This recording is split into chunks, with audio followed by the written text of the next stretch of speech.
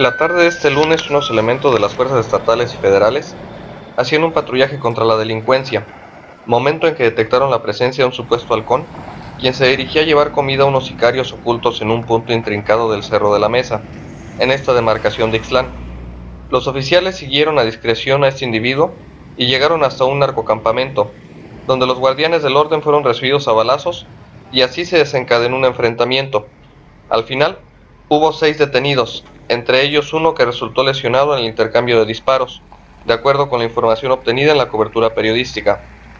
Al menos 50 patrullas de la Secretaría de Seguridad Pública se movilizaron al sitio de la refriega, así como unas 20 de soldados.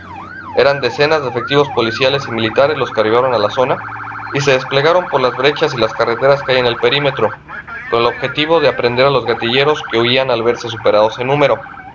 Se conoció que varios de los pistoleros sí consiguieron escapar al perderse entre la vegetación, mientras que seis no corrieron con la misma suerte y fueron capturados, uno de los cuales quedó herido de bala, siendo atendido por unos paramédicos de la Cruz Roja, para luego ser trasladado a un hospital de la ciudad de Zamora, donde quedó internado con guardia policíaca.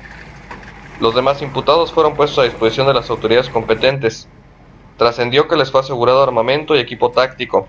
El personal de la Procuraduría de Michoacán acudió para realizar la recolección de indicios y se supo que se rendiría informe de los hechos a la Procuraduría General de la República. En la labor reporteril corrió la versión de que supuestamente el narcocampamento pertenecía al cártel Jalisco Nueva Generación, pero esto ya lo determinarán las investigaciones de las autoridades.